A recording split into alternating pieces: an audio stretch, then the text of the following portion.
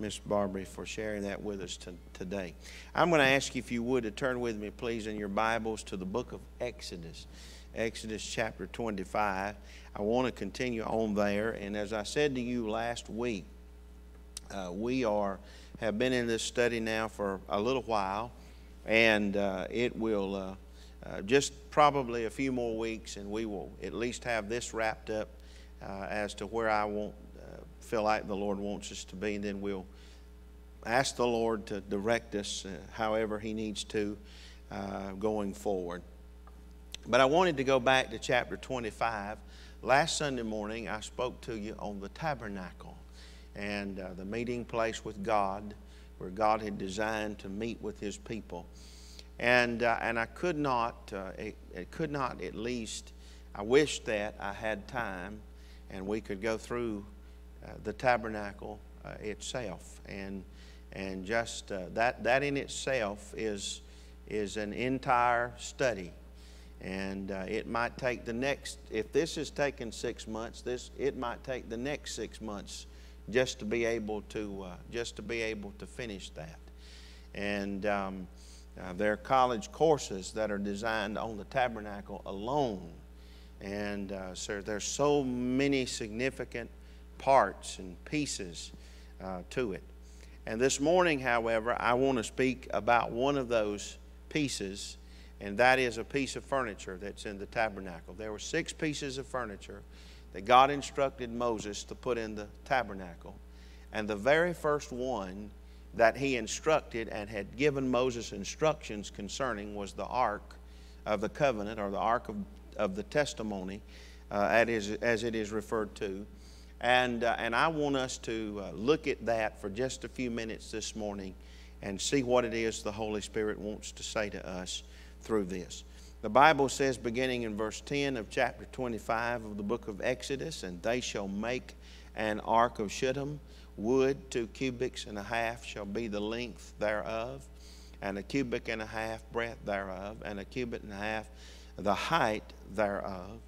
And thou shalt overlay it with pure gold, within and without shalt thou overlay it, and shalt make upon it a crown of gold around about. And thou shalt cast four rings of gold for it, and put them in the four corners thereof. And two rings shall be in the same side of it, and two rings in the other side of it.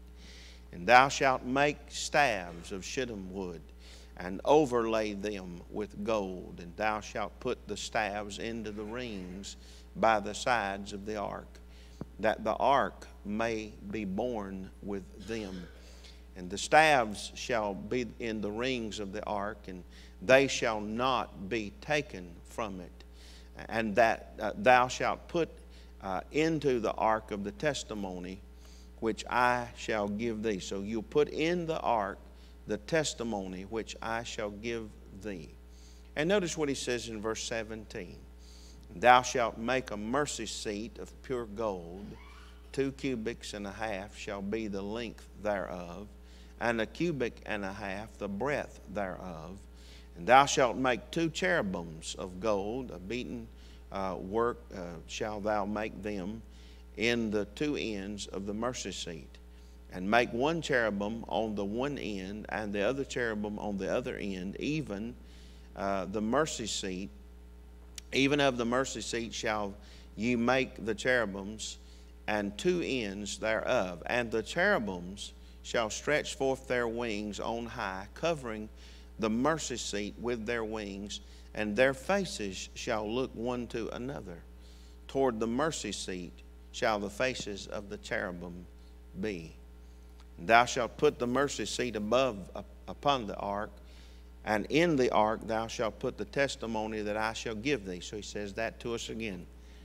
And there I shall meet with thee, and I will commune with thee and from above the mercy seat, from between the two cherubims which are upon the ark of testimony, of all things which I will give thee in commandment unto the children of Israel.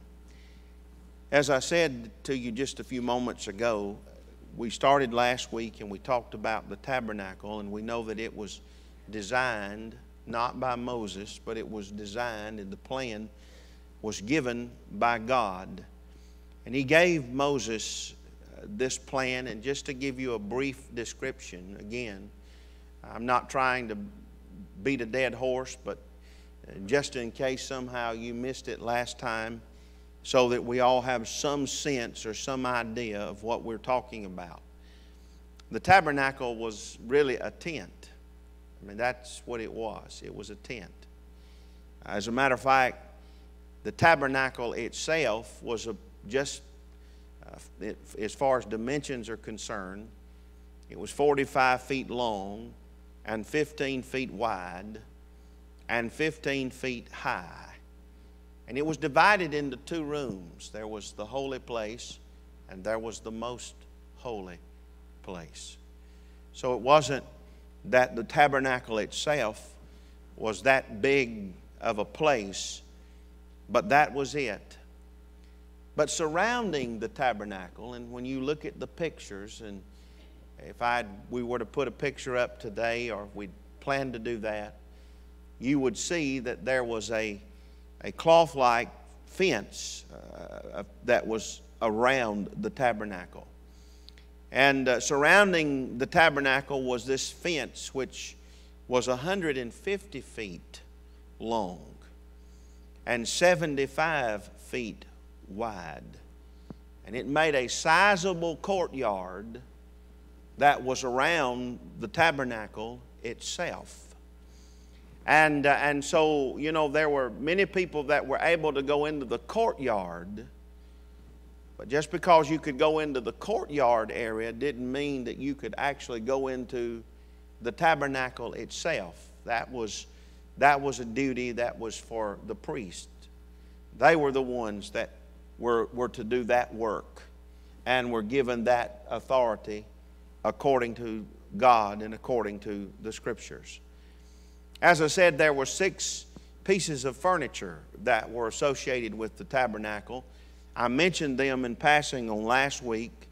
One of them, of course, is mentioned first. I just read to you about the Ark of the Covenant or the Ark of the Testimony, as it is referred to here. And, uh, and aside from that, though, there were some other pieces. For instance, uh, there was, um, uh, there was uh, in these, these six pieces. You had the laver. You had you had other things that that obviously that were there, and and uh, we won't get into all of that this morning. But but they were all there for a purpose, and God had a design for each one of them. But when we come to this this piece, this uh, Ark of the Covenant that is mentioned here, I want to I want us to to dwell on that for just a moment because uh, it, it has significance all by itself. Uh, the other pieces do as well. And I'm not trying to, uh, you know, where the, the table of showbread, the golden candlestick, all of, all of the other pieces of furniture that we find in the tabernacle, they have significance, but I don't, any, none of them have quite the significance of the Ark of the Covenant. The Ark of, the Ark of the Covenant or the Ark of Testimony was a wooden chest. And it was 45 inches long. Now, we're basing all of this off of the fact that, according to what we know from the Bible, a cubic would be somewhere around 18 inches. So uh, it is it's 45 inches long, and it was 27 inches wide, and it was 27 inches high. And there was a lid that was placed on that box. And the lid that was placed on that box was called the mercy seat. And attached to that lid was two cherubims. And they were facing each other, and they covered uh, the lid with their wings. And the faces of the cherubims looked down at the mercy seat. That's what we just read just a moment ago. That they looked down at the mercy seat. Uh, the box was made of wood covered with gold. This particular wood, the shittim wood that we read about here, was, would have been a, a very durable wood. It, was, it wouldn't have been one that would have easily rotted. And it would have been something that would have been durable and lasting. And so that's the reason that it was chosen, and it was to be covered with gold. The cherubims that were made were solid gold. And all of this uh, has significance for us because it, it teaches us some things. For instance, look again with me at what the Bible says. Uh, what the Bible says here, beginning in verse number 10. The Bible says, as we talk about for a moment, the construction, and that's what we're dealing with the construction of the Ark of, of the Covenant. When we start dealing with the construction of it, when the Lord said, I want you to make an ark of shittim wood, two cubits and a half shall be the length, which I, I said a moment ago, 45 inches long. And he goes on and he talks about, uh, he says that uh, it, it, shall be a, a, cubic and a half breadth thereof and a cubic and a half in height. So 27 inches wide and 27 inches high. And he tells us about it. He says, I want it to be overlaid with gold, verse 11 within and without. And, and, uh, and he said that you're to, to make upon it a crown of gold around about it. And, uh, and, and he also gives the, how they're to make the rings and the staves that they'll insert into it that one day when, it, when, when they have to move and move the Ark of the Covenant, that they can carry it. But all of this is significance because, significant because it, it reminds us and it tells us some things and it speaks to us some things I think that's very uh, important for us to know this morning. Uh, for instance, I think when we look at this, we know that the Ark of uh, represented the power and the authority of God. It represented uh, the, the power and authority of God there in the camp of Israel. It, it represented His presence. And uh, we, we know that. We know that later on, uh, when uh, the ark was taken, remember? Uh, when, when Eli was the priest there at Shiloh, and the ark was taken, and the Bible says that the glory departed. Remember when, when, uh, when the ark was gone and Israel, the God's presence was no longer with them, and God's presence was no longer there. Uh, that they, they said that the glory had departed, the glory was gone. So it was very significant. It was a significant piece of furniture, and it, it, it meant something for them. It was, it was god said I, am going to commune with you there. I'm going to i'm, I'm going to meet with you there but I, i'm going to commune with you there. There's something significant about it? When we go through the scriptures we find that the ark had many names. I've been referring to it as the ark of the covenant which is referred to in the book of numbers chapter 10 and verse 33 it was also called the ark of god that's the one I was making reference to just a moment ago in 1 Samuel 3 and 3 when it was taken from the temple uh, there at Shiloh. And, uh, and then, or, or, the, the place there at Shiloh, the, there's the ark of the Lord that is referred to in the book of Joshua. It's the ark of the Lord God in 1 Kings chapter 2. It's the ark of testimony here that we have in chapter 25 that we've been reading about this morning. It's the Holy Ark and the Ark of God's strength. That's the way the psalmist records. So it, there's a lot of ways that it's referred to in the Bible, but the bottom line is, is that it reminds us of God's presence, and not only does it remind us of God's presence, but it represents Jesus Christ. The ark itself, remember I said that it was wood, but it was also gold? That it was overlaid with gold. It's all type and shadow of the Lord Jesus and His coming. It's, it reminds us of the fact that Jesus Christ was human. The wood speaks of His humanity, but the gold that it was overlaid with speaks of His deity. The fact that He was human and yet divine. And remember, when we think about God that way and we think about Jesus Christ becoming a man, we have to remember that he became a man according to the scriptures. I gave you this verse last week, and we were, we were centering in on that verse where the Bible says that he dwelt among us. But let's look at it again in, in John chapter 1 in verse 14 and look at what he says there to us again when he talks to us about the Word. He said the Word was made flesh. Notice that. We dwelt, la- no pun intended there, we dwelt last week on that word dwelt dwelt among us. That word dwelt means tabernacled among us. He, he, tab- he pitched a tent. And He tabernacled among us. But this morning, I want us to look at that again where it says, And the Word was made flesh. The Word was already in existence. There was never a time when the Word was not there, but the Word was made flesh. The Bible doesn't say the Word was made or Jesus was made, it says Jesus was made flesh. So Jesus was born. He was born on this earth, He was born as a man. But I want you to remember that in becoming a man, He never ceased to be God. He never gave up His deity, He never gave up uh, the divine part of himself. He was always God. He was the God man, or is the God man. And so he's, he's flesh, yes, but he's, and he's man, yes, but he's God. He became a man, but never ceased to be God. And so the first thing we do when we look at the ark and we look at its construction, we see a real picture of Jesus and how Jesus Christ became a man but he never ceased to be God. And the ark is pointing them, and it points to the fact that Jesus Christ is coming. And, uh, and the significance of having his presence and all that he can offer and what he will do uh, is, is beyond what we can comprehend this morning. But the second thing that I want to mention to you very quickly today happens to deal with the contents of, that was to be put into the ark.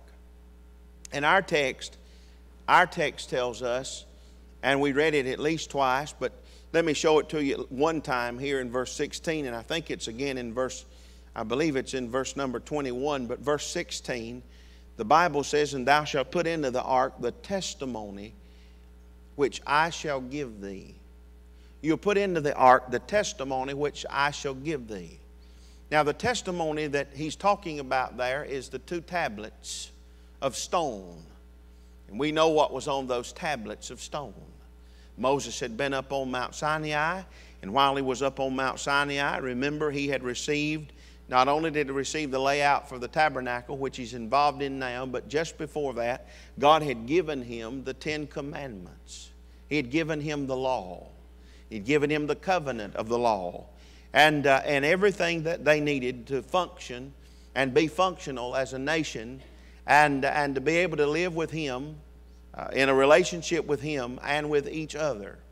And that's why we have, we have those commandments that we have. But He had given them these, those Ten Commandments, and He says to them to take and put the, the testimony uh, which I give you and put it inside of the ark. So, so these, these tables that they put inside of the ark uh, speak of, of, of the law and they remind us of some things about the Lord Jesus.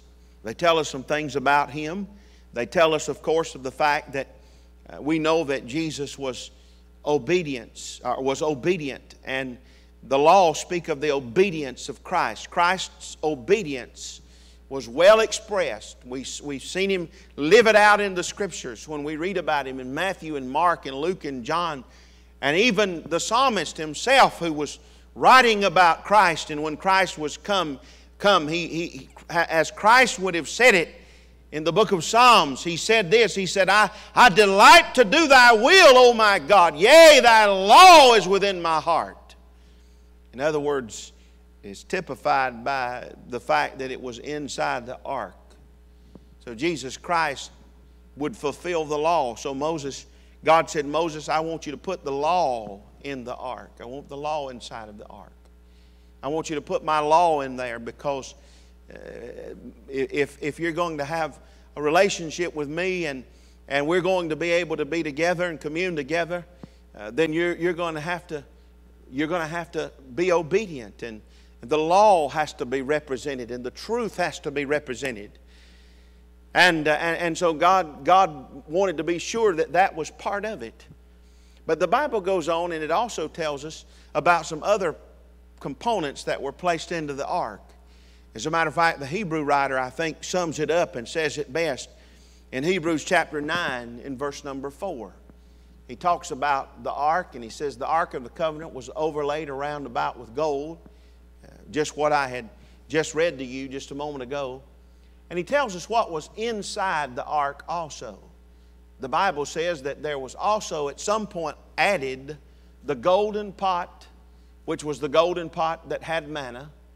And not only was it the golden pot that had manna, but Aaron's rod that budded and the tables of the covenant, the very thing that I'm talking to you about this morning here, the law. The law was the first part that was added. And then at some later time, this golden pot of manna was added. This was manna that had been gathered, and it was, it was no doubt uh, a very important part of, of what God wanted them to remember about Himself, and, and not just about Himself, but it was again a sign or a signal of, of the Lord Jesus Christ, and it typified Jesus. You wonder why some of this is included in the ark and why, the significance of it all. This is it. When we talk about this pot of manna, remember, manna by definition is what is it? When the, when the children of Israel went out and they began to look on the ground and they saw the manna that was given to them, that, that heavenly bread, and, uh, and they gave it the name manna because they, they're the ones that said, well, What is it? That's what manna means. What is it? And they didn't know what it was. They'd never been fed from heaven before like that. God fed them, as we said, bread from heaven, and He fed them meat from heaven, quail from heaven in the evenings. But they said, What is it? And I think that's interesting because uh, it really has no set definition. I think that's interesting today. I think that ought to be interesting for us in the sense that, that the Lord Jesus Christ, when we begin to think about Him and we begin to think about His declaration, remember what Jesus said? Jesus said it in John chapter 6, and I'm going to speak from John chapter 6 tonight, as a matter of fact, in a little bit of a different way. But, but in John chapter 6, Jesus made this declaration in verse 32. He said to them, Verily, verily, I say unto you, Moses gave you not that bread from heaven. He said, But my Father giveth you the true bread from heaven. And he goes on and he says, For the bread of God is he which cometh down from heaven and giveth life unto the world. And notice this. He said, And then said they unto him, Lord, evermore give us this bread. And notice what he said in verse 35. He said, I am the bread of life. He that cometh unto me shall never hunger, and he that believeth on me shall never thirst. So Jesus Christ when they put this golden pot of manna inside of the ark at some point later, I know they didn't do it just right on when God was giving Moses these instructions. It happened at a later time. But when they put that golden pot of manna in there, what they were doing is they were placing inside of the Ark of the Covenant something that was symbolic of the bread of life. It was symbolic of Jesus Christ, that He's the life giving Son of God that He's the one that gives us life, He's the life giver. He brings fulfillment like no other. And someone said, Well, isn't it strange that they, they would put that pot of manna in that, that what is it inside of it? And it just bears out the fact that whatever you need Jesus Christ to be, whatever He needs to be in your life and my life, He can be that this morning. He can do it. That's who He is. But the, the significance is, that He's the life giving Son of God and He gives life and He's the bread of life and, uh, and, and He brings fulfillment and, and He's whatever you and I need Him to be. And so they were to, they were to put that pot of manna in that golden pot of manna inside of the ark. But the Bible also says that another time, a later time, they added a rod it wasn't just any rod. I'm sure there were many among the company of the Israelites who had rods or staffs, but it was the rod of Aaron. And it was significant because the rod of Aaron did something that no other rod had done. To find that story, you have to go back and go over to the book of Numbers. And if you'll allow me for just a moment, I'd like to talk about it and just kind of give you a brief synopsis of it and then we can, uh, we can make the application here.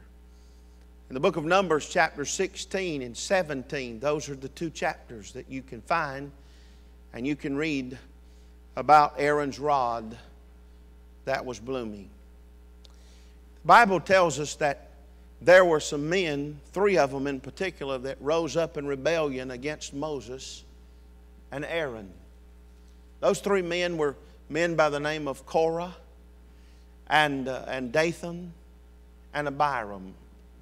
Those three men were men that had traveled up the mountain with Moses to a certain point.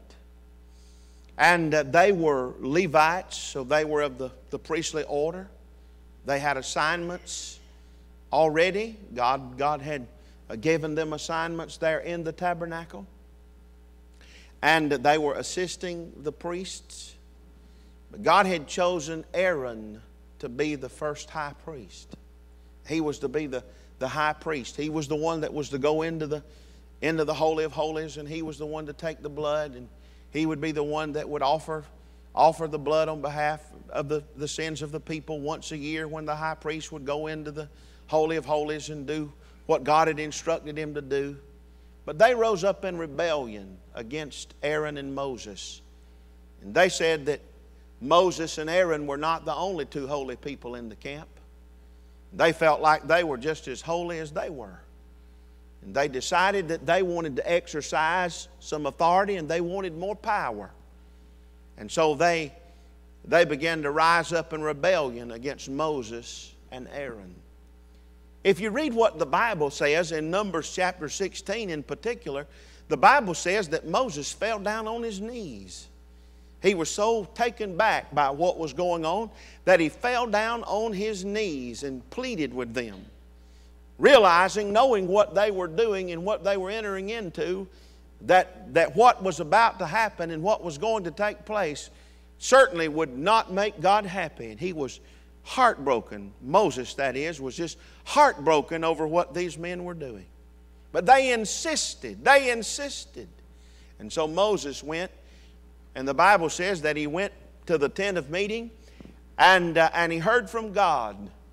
And God said there were 250 of them that were with, with these, three rebel, these three rebels Korah and Dathan and Abiram. And, uh, and God said, He said, We're going to put an end to this. We'll just put an end to it, we'll stop it. And, uh, and so uh, He told Moses, said, Tell the people to stand back stand away from their tents. When they, they went, uh, had all come together and gathered together there but at the tent of meeting, uh, they were from a, a distance away. And he said, Tell all of them to stand, the people to stand back. And the Bible says that Moses gave them warning and told them what to do.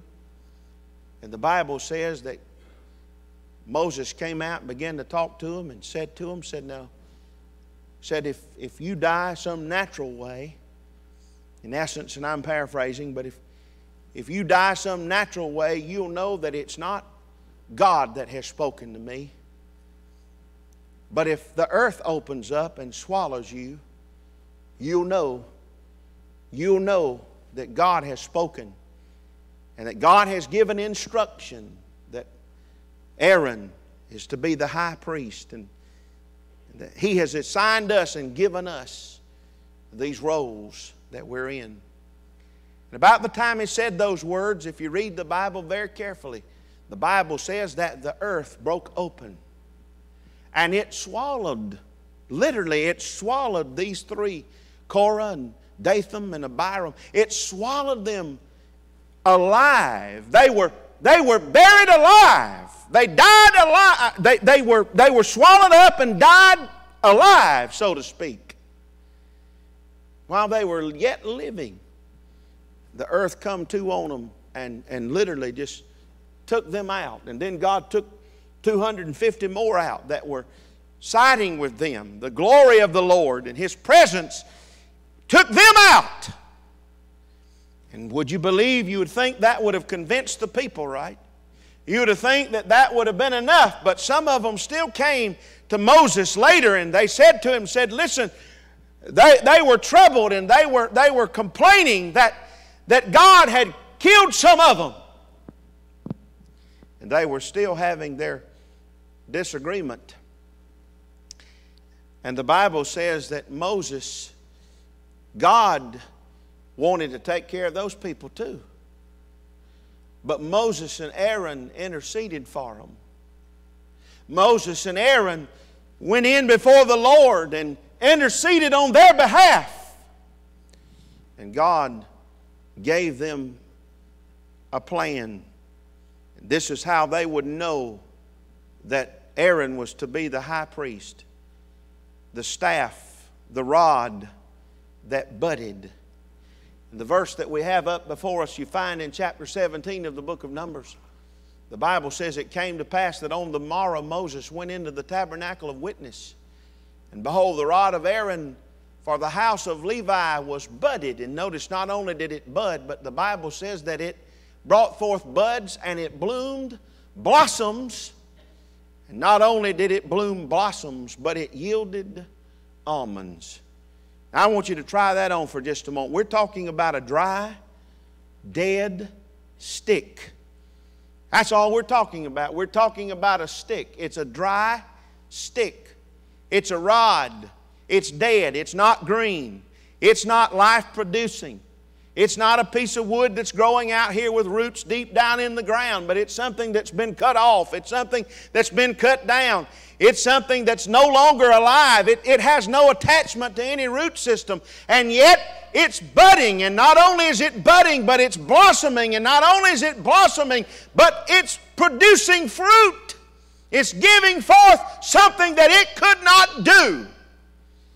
What does that say? Why would that even be something that needed to be placed into the ark of the ark of God or the ark of the covenant or the ark of testimony. Why would we want to put that in there? Why was that something that God would want to be included in there? I tell you why. Because it reminds us of the resurrection of Jesus Christ.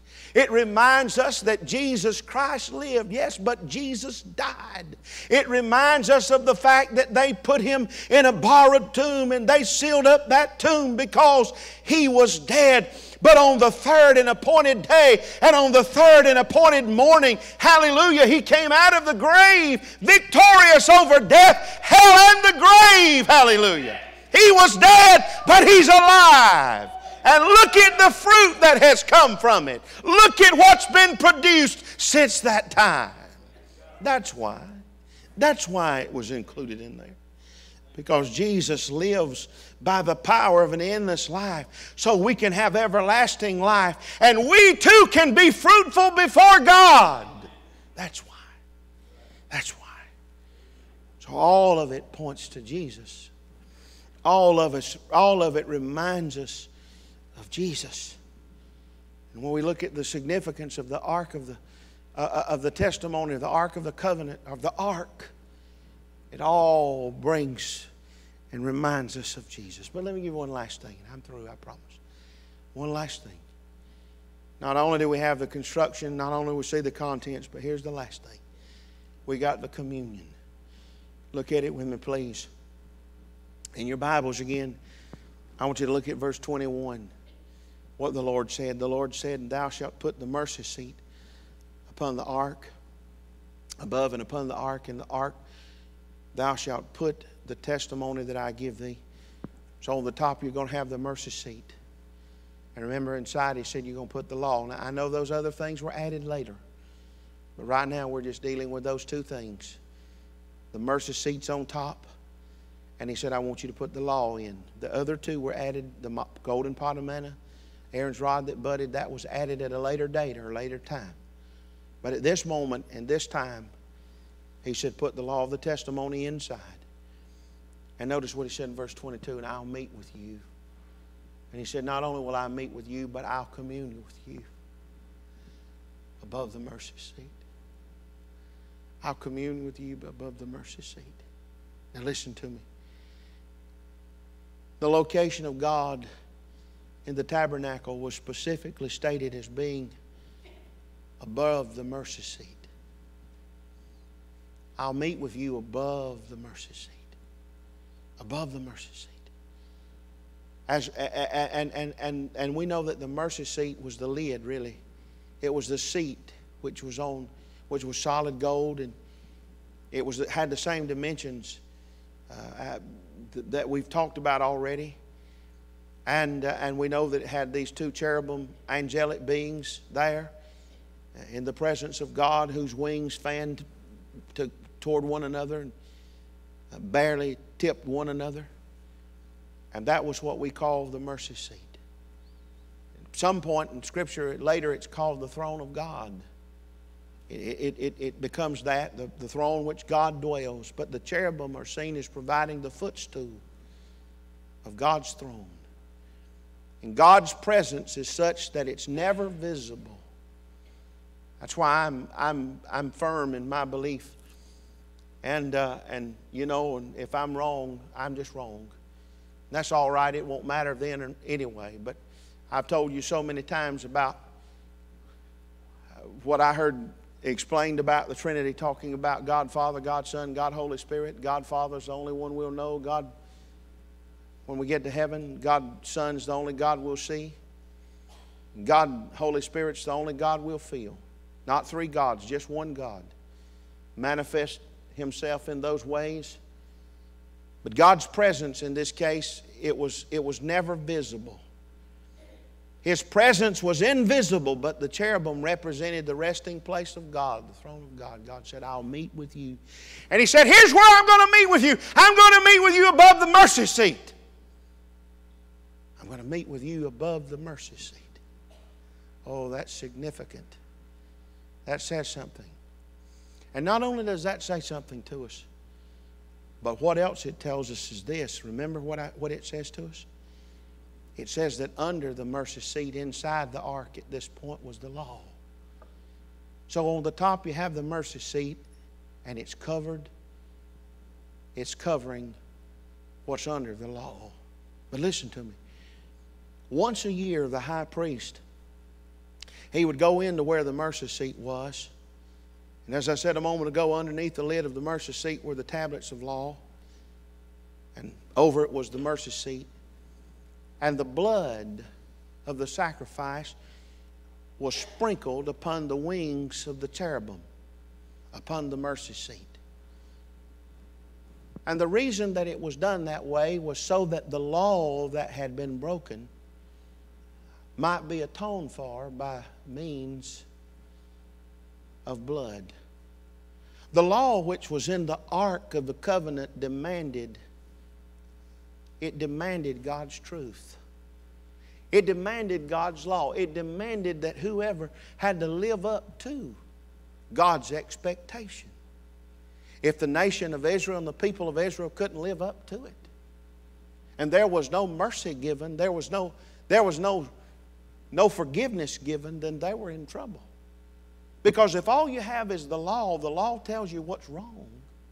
The law says that you, you didn't do this right and you didn't do that right, but the law can't fix you or me. The law can just tell us that we're wrong. The law can show us how unlike Jesus we are and how much more like Jesus we need to be, or how unlike God we are and how much more like God we need to be. But, but the mercy seat which was over it spoke of the fact that God would give grace and God would give forgiveness to His people. That He would give grace and He would give forgiveness to His people and, and who had broken the law. So therefore, at the very, listen, at the very center of Israel's experience was the fact that God most clearly manifested both His love and truth and His grace. And there on the mercy seat, truth and grace met together. Hallelujah. Truth and grace met together. No wonder. Remember that verse of Scripture we had a few moments ago? No wonder, no wonder the Bible says that when it talks about, remember what it said about Jesus in, in John chapter 1 and verse 14?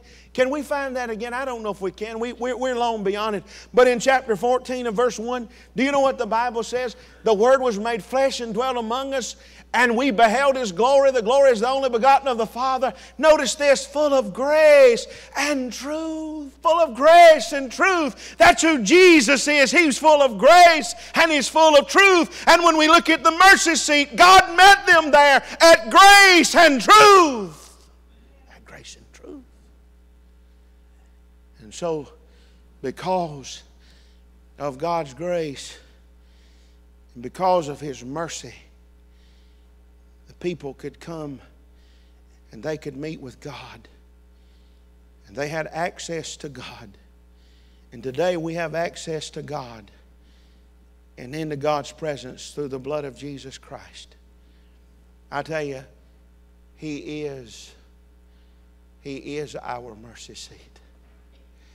Jesus Christ is my mercy seat. Hallelujah. You know what John said? John said it this way in 1 John 2 and 2. Miss Evelyn's coming to play for me. John said that he is the propitiation for our sins. But he's not, he's not only the, my, the propitiation for my sin. In other words, he's the atonement for our sins, but not for ours only but also for the sins of the whole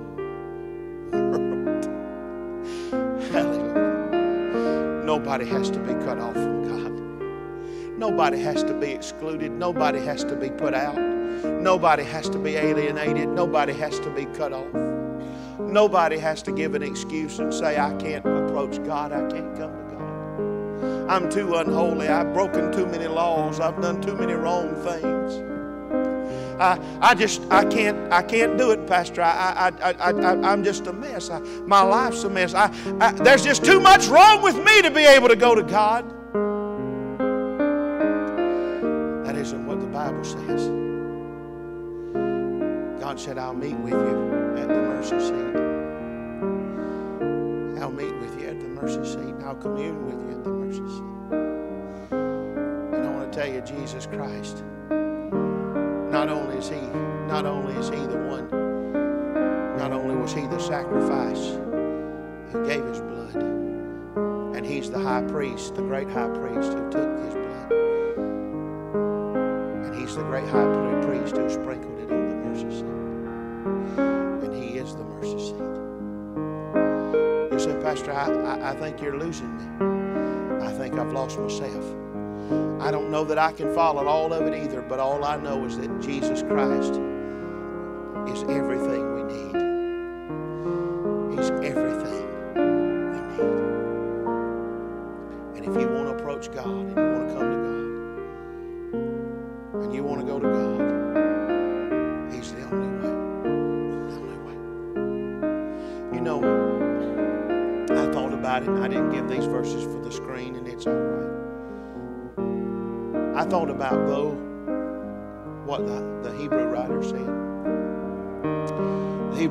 said this.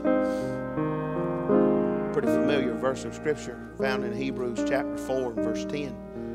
Or excuse me, verse 16. He said this He said, Let us therefore come boldly. Let us therefore come boldly under the throne of grace. That's the mercy seat.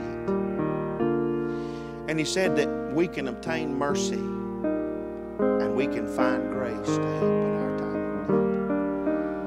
We can come without shame. We can come without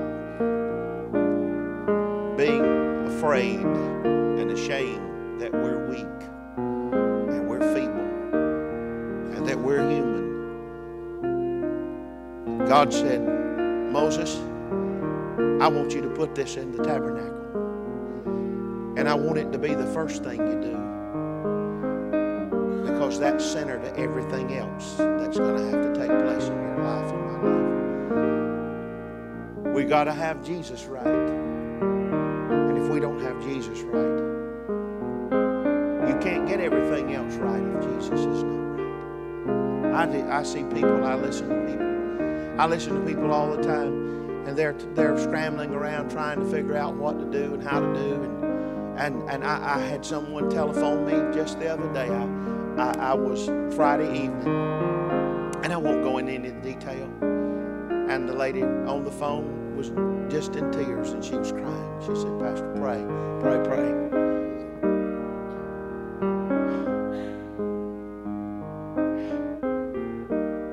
And my first thought is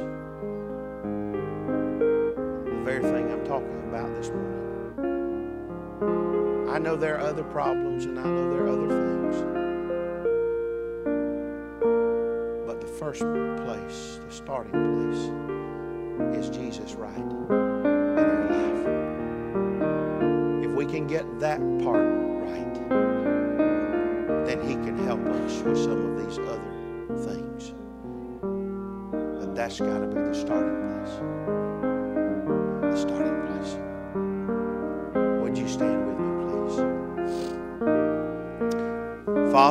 Thank you this morning for your goodness and we thank you for your grace. We thank you, Lord, for the privilege today to hear your word and to be here and to be in this place. I pray today, God, that you would help us. I pray, Lord, that you would just speak to our hearts. However, whatever we need to do and how we need to